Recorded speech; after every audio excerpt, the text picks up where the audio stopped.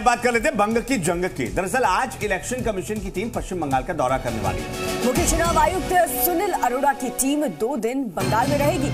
विधानसभा चुनाव की तैयारियों का जायजा लेने के लिए टीम जा रही है। अप्रैल और मई 2021 में पश्चिम बंगाल विधानसभा के चुनाव होने हैं। ममता सरकार ने नियुक्त किए अपने दो अधिकारी। तो देखिए आज इलेक्शन कमीशन की टीम पश्चिम बंगाल का दौरा करने वाली है। दो दिन का ये दौरा है।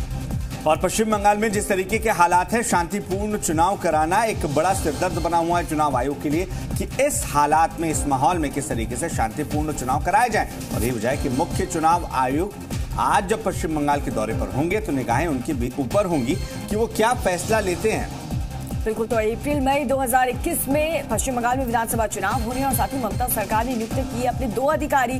लेकिन आज सीसी सुनील अरोड़ा भी पश्चिम बंगाल जाएँगे, दो दिन वहीं पर रुकेंगे। विधानसभा चुनाव की तैयारियों का जायजा लेंगे और वहाँ का जो माहौल है उसको देखते हुए तमाम इंतज़ाम भी किए जाएँगे। जैसे जैसे चुनाव की तारीखें नज़दीक आती जा रही हैं, पूरे पश्चिम बंगाल के भीतर आप देखिए कि रक्त रंजित राजनीति का दौर भी बढ़ता जा रहा है और यही है कि इस लिहाज से आज सीईसी का ये दौरा काफ़ी महत्वपूर्ण माना जा रहा है। तो पश्चिम बंगाल में चुनाव का काउंटडाउन शुरू हो चुका है और केंद्रीय चुनाव आयोग की टीम आज सुबह 10 बजे कोलकाता पहुँच रही है। सीईसी सुनील अरोड़ा राजनीतिक दलों के प्रतिनिधियों से मिलेंगे। कानून व्यवस्था के मुद्दे पर प्रदेश के अधिकारियों के साथ उनकी बैठक भी होगी। अप्रैल मई 2021 में विधानसभा चुनाव होने हैं और इन चुनावों में राजनीतिक हिंसा रोकना और आंतरिक हालातों को बेहतर बनाए रखना चुनाव आयोग के लिए बहुत बड़ी चुनौती है। इधर पश्चिम बंगाल की ममता सरकार ने मंगलवार को अधिकारियों की नियुक्ति कर दी है। भारतीय प्रशासनिक सेवा के अधिकारी स्मारकी महापात्रा को संयुक्त मुख्य चुनाव अधिकारी बनाया गया है। और साथ ही संघमित्रा घोष को अतिरिक्त मुख्य चुनाव अधिकारी नियुक्त किया गया है।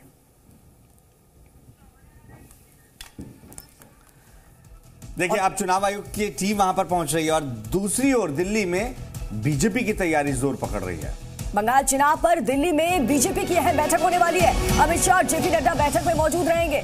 प्रदेश प्रभारी कैलाश विजयवर्गीय और सभी संगठन मंत्री भी इस बैठक में मौजूद रहेंगे।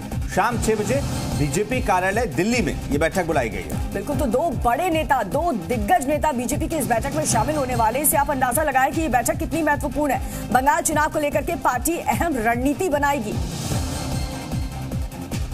एक और बीजेपी की तरफ़ से लगातार दम भरा जा रहा है कि 200 से ज़्यादा सीटें पश्चिम बंगाल में जीतकर वो पश्चिम बंगाल में न सिर्फ़ परचम लहराएगी बल, बल्कि सरकार भी बीजेपी की बनने वाली है।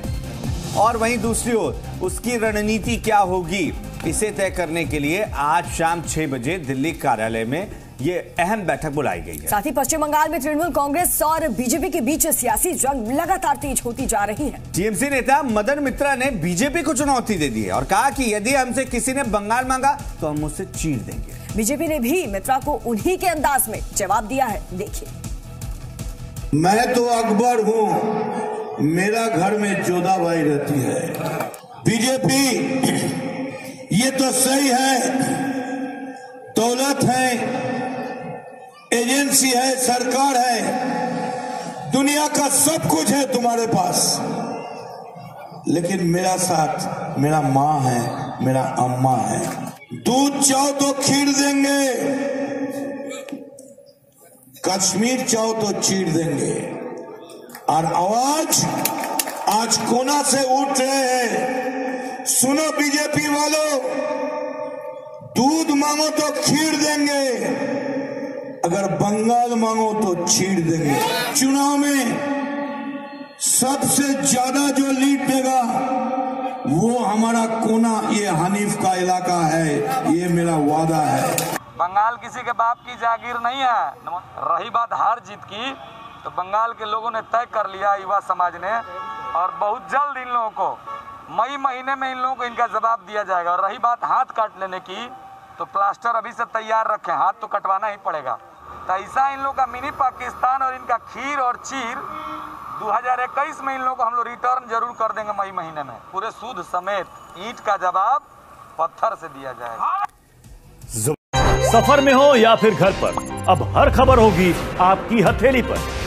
ऐप स्टोर पर जाएँ और डाउनलोड करें जी हिंदुस्तान ऐप पाँच भाषाओं में चुने अपनी पसंद की भाषा।